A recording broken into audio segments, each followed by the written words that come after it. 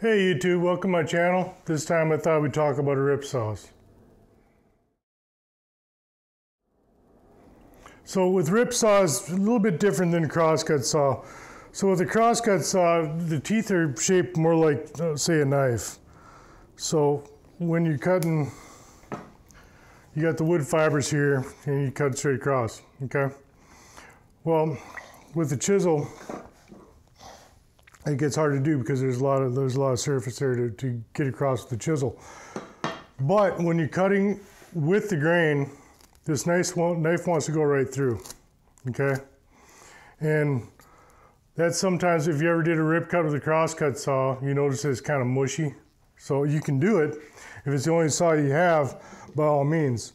With the chisel though, you're actually cutting those fibers, remove them out of here. So that's why you want something more chisel shaped for rip saw than knife shaped than for a crosscut saw. So I have a few rip saws out here uh, from my collection. First of all, this is a five and a half point thumb hole rip. This one is 26 inches long. You call it a thumb hole because it's got this thumb hole. It allows for a comfortable two-handed grip. Okay. This is an old Bishop 24 inch. I picked this up at a garage sale for five bucks, I think back in like 2005 or something like that. But uh, this is my main user. I prefer 24 inch saws. So, but that's a five uh, points per inch if I haven't mentioned it. Next, this is, what is this? This is a Simmons. This is a rip saw I showed in the crosscut video. But uh, this one is 10 points per inch. This is usually, I use this at the bench. Um, this is more like a panel saw. Some people would call this our toolbox saw. And then of course, y'all seen, if you watch my videos, you've seen that I have this child saw. This is a 10 points per inch, and this one's 18 inches. Okay, but this one does fine too. So, so this is my Danish frame saw. I built this from a kit I got from Blackburn Toolworks. And um, this is done for joinery work, but you can also use it for ripping a board. This blade actually does turn, and uh, it does, does a lot of tasks. This one is nine points per inch. I'll be demonstrating this one as well. So I have a board here, and it started off as two pieces of wood. So I want to take this board that was uh, glued up and, and get the big board back. So I'm gonna do is I'm gonna grab uh, this little guy saw right here, and what I wanna do is get started. Okay, when I first start, I'm gonna drop down and find that line.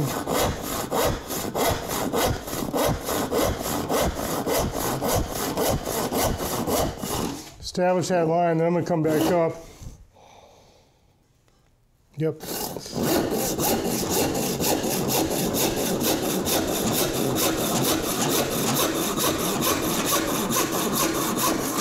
Okay, so that's that one. We go to the 22 incher.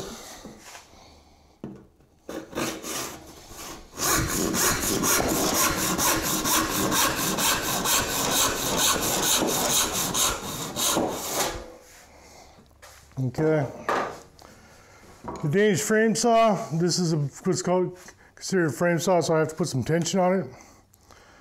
So I'm gonna go one, two. And I found with two on this one, it does just fine.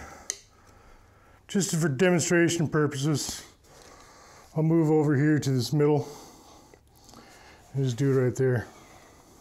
Hold on, let me check my blade real quick.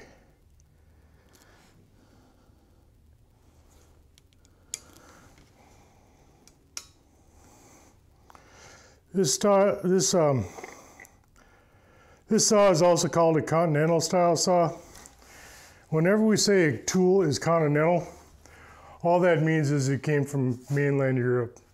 So usually you differentiate between English tools and then they say continental tools. This was more a continental style and these are more English style.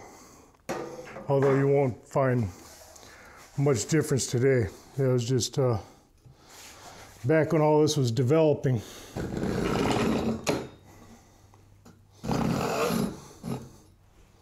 This is going to rattle around on me. Whoop. Okay, that's gonna rattle around on me. So what I need to do is take some of that vibration out the board. So I'm gonna drop this down to get started.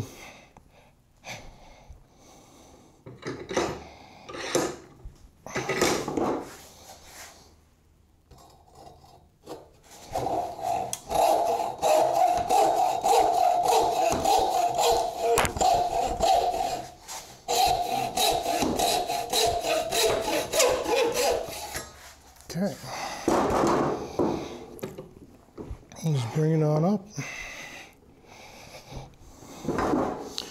And here soon it's going to bottom out on me.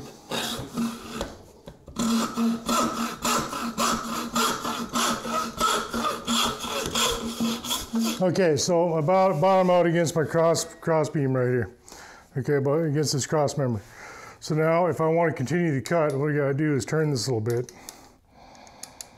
Side down it, make sure I'm straight.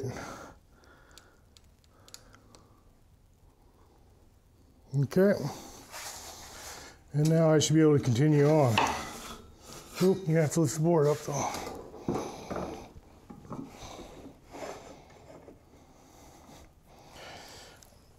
Okay.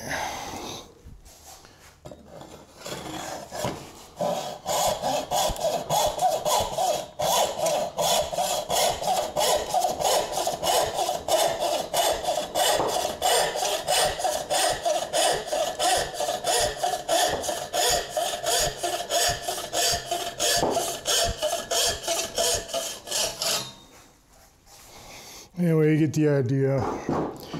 This is one saw I need to practice with. I just made this about uh, about a month ago, so need some work on it. But for demonstration purposes, that's the frame saw.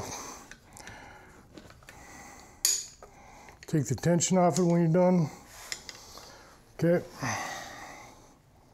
All right, so I think I'm gonna do is I'm gonna change the camera, set up on a saw bench, and we'll uh, we'll continue on. All right, so I got my saw bench set up here. This slot down the middle, that's actually for ripping, okay? So that the wood is supported on both sides. Now you can hold it with your knee out here, but I find better if you can center your cut right over the, uh, right over that slot. I'm not going to draw a line on here, a guideline. I'm just going to practice. All this is is just practice right now, getting used to tools. And uh, I'm going to try and eyeball it and uh, try and cut a straight line as best as I can. So same thing, get in here. Oops, slipped.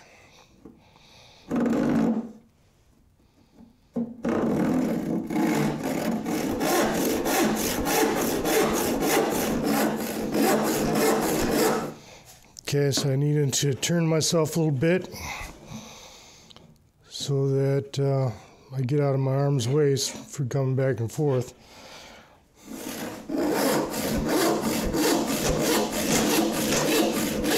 I'm trying not to cut on my bench, so I'm gonna find that slot.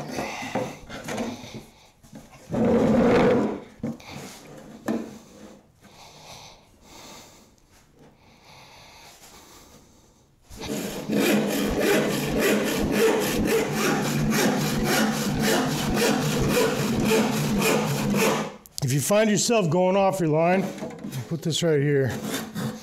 I'm gonna let this saw go way back. Reestablish that line. Then I can go back straight up.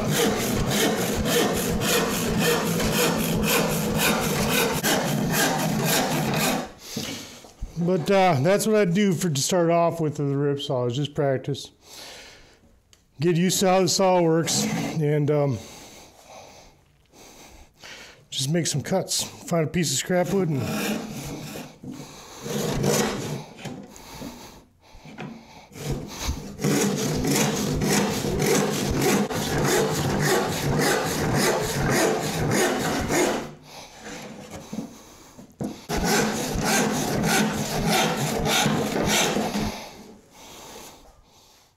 Hopefully you enjoyed this video on the rip saws. Um, designed to go with the grain.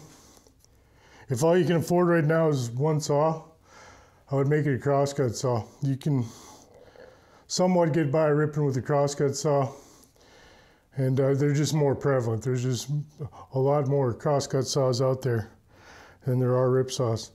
But eventually, you are going to want a dedicated rip saw. With crosscut saws, I usually tell people eight points per inch. Rip saws, five to six, somewhere in there. Thank you.